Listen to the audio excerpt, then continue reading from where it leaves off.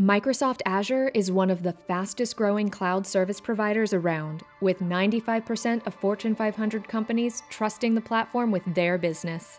That's why companies across industries are looking to hire developers with Azure expertise, as Azure related job growth is projected to hit almost 40% over the next decade. With Udacity's Cloud DevOps using Microsoft Azure Nanodegree program, you too can learn the skills you need to be in demand.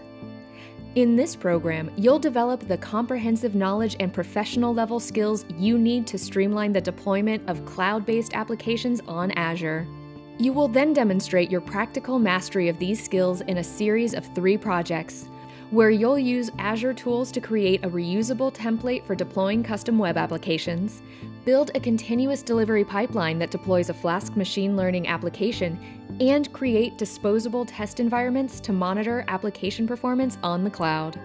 Experience matters. Our Udacity instructors cumulatively have more than 10 years of real world experience facilitating the deployment of applications on Azure. Upon completion of the Cloud DevOps using Microsoft Azure Nanodegree program, you will be well prepared to take the Microsoft AZ400 certification exam, proving your proficiency at designing and implementing Microsoft DevOps solutions. Fast track your career with the power of Microsoft Azure. Become an Azure Cloud DevOps engineer today.